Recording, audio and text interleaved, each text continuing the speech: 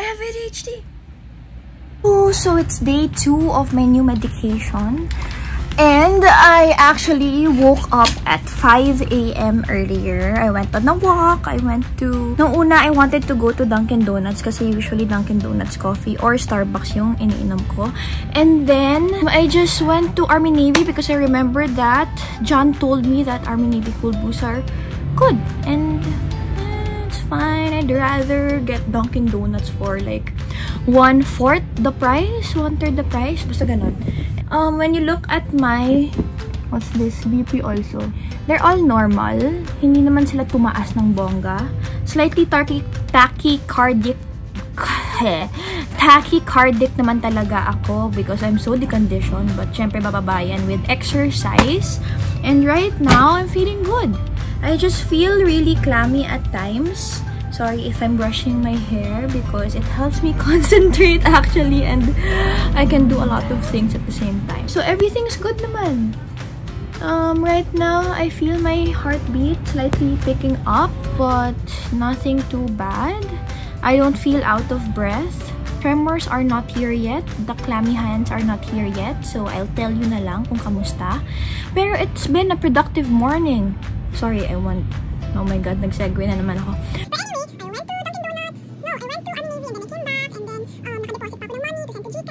Ngayon, um, mag-ano ko ng eyebrows and maglalagay ng makeup. So, it's been a very productive morning and it's still 7.37 a.m. Let's go!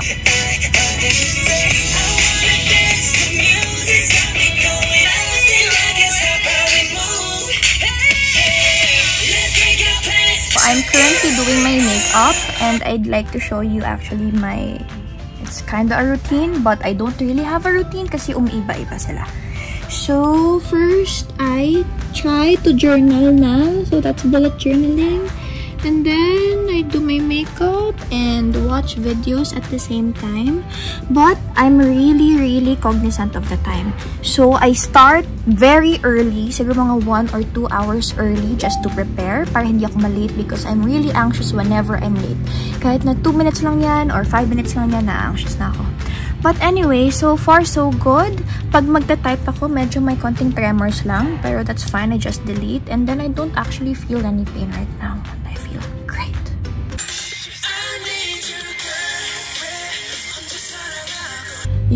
So I'm done with my makeup. And there's 10 minutes to go until my um, first kid of the day. Um, 8.20 na, 8.30 yung first kid ko. And I think I can uh, yun yung iniisip ko na sequence to maximize the time. Oh, 9 minutes na lang. I can go to the CR and be first pero tuloy-tuloy na. Although, wag na lang pala. Later na lang yan. O, oh, diba? Meron akong reflection! Wow! Okay, since meron pang 4 minutes. Oh my God, isagad na din to. 4 minutes, this is my work from home station. So, there's the light. There's my laptop. And, uh, I have a side table um, nandito all my notebooks. So, this is for journaling. So, I'll show you lang from afar kasi may mga names siya. And they're all con about confidentiality here. Nandito yung, this is my lotion. Kasi my hands are always dry but I always forget to put hand lotion. This is my pantale. I have pens here. I also have a pen here. Wala, nasaan? Wala. Anyway, andito yung for my back. Andito yung coffee ko slash water. Mas water na yan sa coffee. All my chargers are here. I am here. My laptop is here. This is my phone stand para hindi ko hawakan yung phone ko in case I fidget. And I think I'm ready for today. Oh, ayan. So, there's 2 minutes. I can still vlog for 2 minutes. So, ganun kami. Maximizing time. And I'm very, very productive actually. Oh, I'm gonna do it, do it again na lang. Future Candice cut this out. Head, shoulders, knees, and toes. So, ayun. Um, I'm not hungry kahit na naka um, three patients na ako and it's 12 noon. That's one side effect that I'm it's not bad because I'm kind of overweight and I need to lose. I'm not saying that you should use this to lose weight, but it's just a side effect, and it's a side effect that I welcome. Um, I need to eat a fuller meal after my next patient and uh, I hope I remember to eat. I'll write it down so I remember.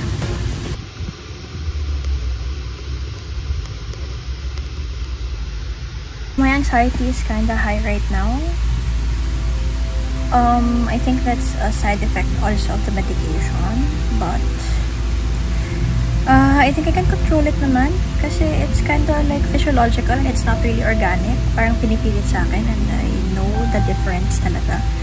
So right now, I'm just trying to control it by practicing mindfulness and decatastrophizing myself. Think of the best case scenario and the worst case scenario and thinking which is better and realistically ano yung pinaka realistic na, na outcome. That helped better with my brain but I still have the palpitations ng anxiety but I think that's just a side effect. I'm still regulating. My body's still regulating or adjusting, I think. I'll get back. I have ADHD! Ooh, so I went... Ah, ooh. so it's day three of my medication. Anyway, um, so far so good. Kahit na late ako natulog kagabi, I think I, I slept at 1 o'clock.